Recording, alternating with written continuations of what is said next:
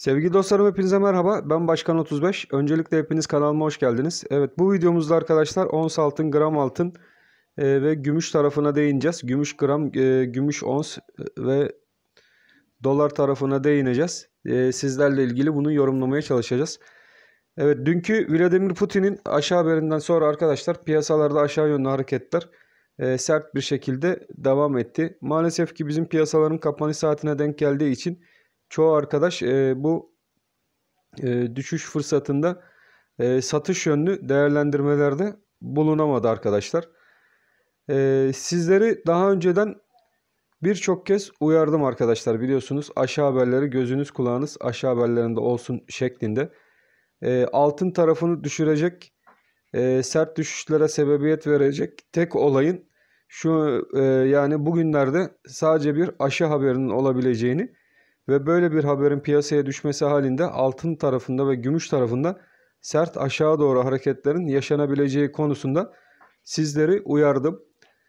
Hatta e, yeni alım yapacak olan arkadaşlar e, düşüşlerden çok etkilenmemesi amacıyla da dolar tarafında kalmaları yatırım tavsiyesi olmamak koşuluyla kendileri açısından daha iyi olabileceği yönündeki tavsiyelerimi sizlere e, kaç videodur devamlı söylüyorum arkadaşlar.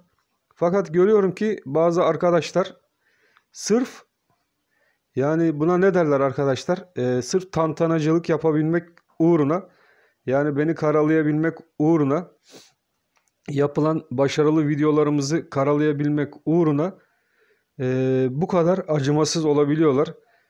Nasıl ki e, videoların altına bu şekilde bir yorum yazabiliyorlar ben kendilerini anlamış değilim. Neymiş?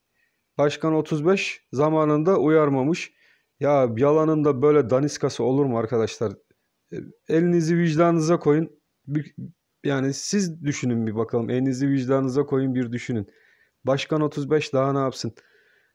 Ya benim kadar sizi başka uyaran var mı acaba? Şu YouTube camiasında sizlere video çekip benim kadar sizlere uyaran var mı acaba? Bunu da elinizi vicdanınıza koyup e, bir kere düşünün bakalım. E, az önce de gene bir yorum aldım. Arkadaşım biri o bildirim zil sesi var ya arkadaşlar. O bildirim zil sesini açık konuma getireceksiniz ki videolar zamanınızda elinizde ulaşsın. Arkadaş o bildirim zil sesini açmamış. Video daha yeni eline geçmiş. Ve o aşı dün bulundu başkan günaydın diye bana mesaj atmış. Bakın terbiyesizliği görüyorsunuz mu arkadaşlar? Aşı daha dün bulunmuş. Ya arkadaşım bu videoyu zaten sana dün attım. E, sen daha bu video nasıl yani? Sen şimdi bu videoyu yeni gördüysen bu benim suçum mu?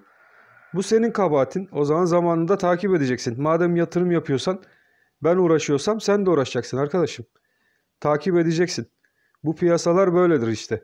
Ekonomi haberlerini dakikası dakikasına takip edeceksin. Piyasalarını takip edeceksin. Eğer al-sat işiyle uğraşıyorsan bunları gece gündüz takip edeceksin. Etmediğin takdirde böyle yaya kalırsın işte. Ee, normal takip eden e,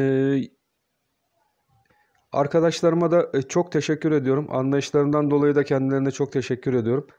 Ee, onlara da sizler iyi ki varsınız e, şeklinde e, minnetlerimi de onlara sunuyorum arkadaşlar. Onlar çok sağ olsunlar. Zaten onlar e, devamlı beni sıkı takip ettikleri için ne dediğimi şu anda e, çok iyi anlamaktalar. Neyse konumuza geçelim arkadaşlar. Ons altında 1929 arkadaşlar önemli olacak.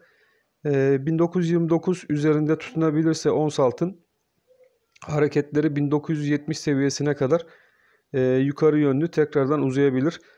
Ons altının bu hafta olumlu e, bir iğme, tekrardan yükseliş iğmesi kazanabilmesi için de mutlaka 1970 üzerinde günlük bir kapanış yapabilmesi şart.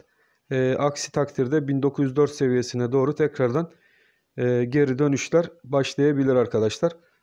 E, 1904 gene önemli diyoruz. 1900-1904 aralığı önemli diyoruz arkadaşlar. E, burada e, tutunma e, sağlanamaz. Geri dönüşler yaşanırsa e, ONS'ta da tekrar 1860 seviyesine doğru bir ikili dip yaşama olasılığımız artabilir arkadaşlar. E, bu da aklımızın bir kenarında bulunsun. E, yukarıda 1970'e kadar e, yükselişler de görülebilir. Ama onsun tekrardan olumlu bir hale geç, geçebilip tekrar 2000'li seviyelerin üstüne atabilmesi için mutlaka 1970 üzerinde kapanış yapabilmesi de şart. Hemen gram altına bakalım. Gram altında bizler için önemli seviyeler. Hangi seviyeler? Evet gram altında da saatliklerde e, tekrardan yukarı yönlü hareketler var. E, dünkü videomuzda 432 seviyesine kadar bir düşüş beklemiştik. Evet o tam nokta olarak 432 seviyesine kadar bir düşüş gerçekleşti ve buradan tekrardan e, saatliklerde bir toplanma e, yoluna e, girmiş gibi gözükmekte arkadaşlar. Ons altın şey gram altında gene 448 bizim için önemli bir rakam arkadaşlar. 448 üzerinde e, gram altının tutunması gram altında yukarı yönlü hareketleri e, devamını getirebilir. O yüzden 448 hala bizim için önemli bir rakam. 448 üzerinde e, gene önemli bir rakam 473 şurada yukarıda 473 rakamı. 448 üzerinde e, tutunabilmesi halinde 473 rakamı. E, 448'in altında da arkadaşlar gene e, olumsuzluklar başlar ve 432 seviyesine doğru gidip bir ikili dip yapma ihtimali de mevcut. O, o yüzden e, gram altında 448'e dikkat çekiyoruz. 448 üzerinde e, 453 ve 462 takipte kalacağımız önemli seviyeler diye söyleyebiliriz. Bu rakamlar takibimizde kalacak. 448 üzerinde gram altın olumlu diyebiliriz arkadaşlar. E, gümüş tarafına da bakalım hemen. Gümüşte bizler için önemli seviyeler hangi seviyeler şu an itibariyle. Evet gümüşte de saatliklerde bir toparlanma var arkadaşlar. Gümüş ons tarafına baktığımız zaman şu an 25-20 civarlarında. Evet gümüş onsta da bir 23 40 20 23 30 civarına doğru bir düşüş bekliyorduk zaten. Ee, saatliklerde de bir bakalım saatliklerdeki e, bu toparlanma günlüklere de yansıyabilecek mi?